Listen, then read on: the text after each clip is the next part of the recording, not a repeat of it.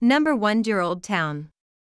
After Budapest and Sopron, Győr is the third richest city in Hungary for historic monuments. Most of the old town streets are on straight lines in an irregular grid system that drops you at stately squares like Bécsi kapu tér, Viennese Gate, and Széchenyi tér. Number 2 Cathedral Basilica of the Assumption of Our Lady.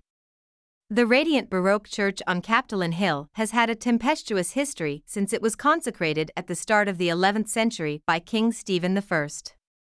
That initial Romanesque monument was flattened by the Mongols in 1241, and its replacement had to be completely rebuilt from the 1630s after the city's brief Ottoman occupation.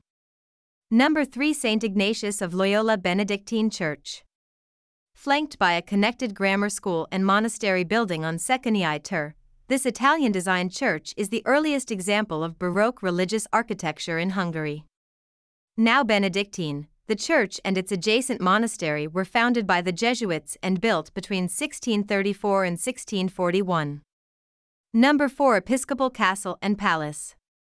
At the crest of the Capitoline Hill sits the fortified residence of Győr's bishops, which has a mixture of Gothic, Renaissance, and Baroque architecture.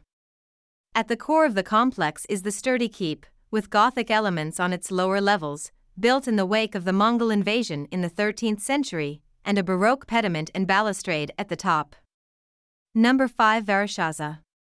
At Győr's busiest spot, the town hall is on the intersection between the east-west Szent István UT and the north-south Baross UT.